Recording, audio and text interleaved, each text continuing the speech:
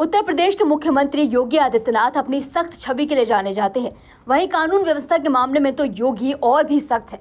हाल ही में कानून व्यवस्था के मुद्दे पर योगी ने एक बड़ी बैठक की थी। इस बैठक में योगी ने कई अधिकारियों से नाराज़गी जताई और उन पर खूब भड़के, जिसकी वजह थी लाउड स्पीकर की आवाज़, जो एक बार फिर से धार्मिक स्थलों में गूंज रही है। और इसी के साथ ध्वनि प्रदूषण भी बढ़ रहा है, जिसके चलते ही योगी ने तमाम अधिकारियों को निर्देश दिए हैं कि इन्हें नियमों के साथ सख्ती से कंट्रोल किया जाए।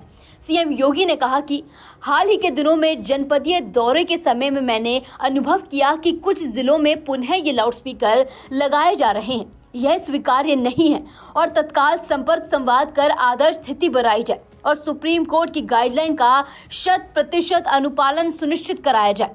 जिसके बाद उन्होंने अधिकारियों से आगे कहा कि मांगलिक कार्यक्रमों से पहले डीजे व म्यूज़िक सिस्टम संचालकों से संवाद कायम करें। किसी को भी अव्यवस्था फैलाने की छूट नहीं मिलनी चाहिए। निकाय चुनाव व ईद के शांतिपूर्ण संपन्न होने के बाद योगी ने बुधवार रात वीडियो कॉन्फ्रेंसिंग के माध्यम से वरिष्ठ अधिकारियों को फ़ील्ड से निकलकर सभी व्यवस्थाओं को देखने व अधीनस्थों के कार्य की नियमित समीक्षा का निर्देश भी दिया।